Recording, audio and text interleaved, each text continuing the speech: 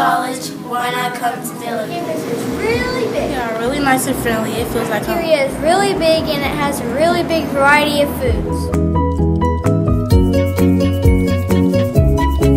Great activities like play, sports, and music. Welcome to Millikin. You love it.